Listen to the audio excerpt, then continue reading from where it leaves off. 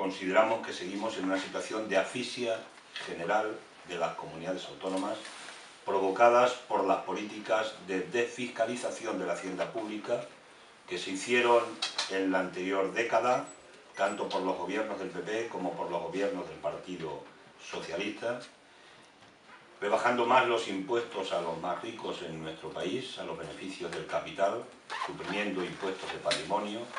incorporando figuras como la SICAP, haciendo exenciones fiscales a los grandes beneficios,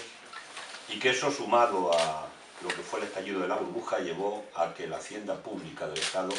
se quedara en una situación de debilidad económica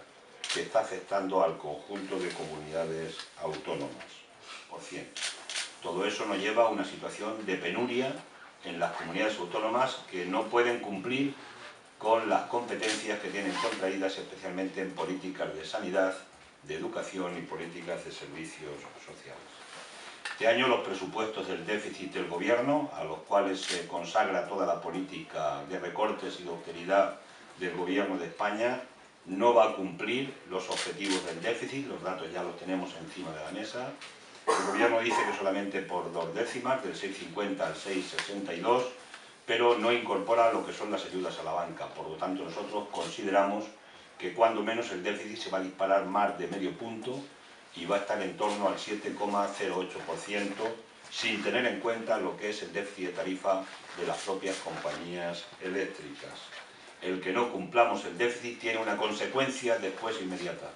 y es que el gobierno provocará de nuevo recortes, salvo que fuera política de mayores ingresos que no parece que esté previsto por parte del gobierno.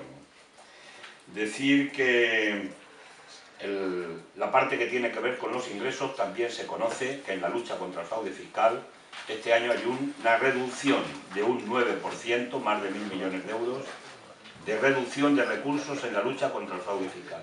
En un país donde el fraude fiscal es previsiblemente el más alto de los países de la Unión Europea, con unos 80.000 millones de euros de fraude fiscal los ingresos de las cuentas públicas, los datos que conocemos hasta noviembre, también se están produciendo de manera injusta. Se, está, se ha incrementado el 1% los ingresos del IRPF,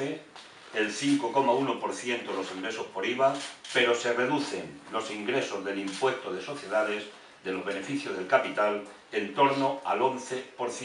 Es decir, una vez más, los beneficios del capital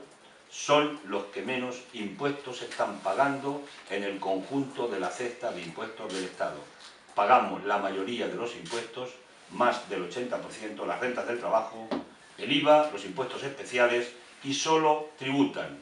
en torno al 12-12,5% lo que son los beneficios del capital. Eso lleva, por tanto, a una injusticia en lo que es los ingresos de la hacienda pública.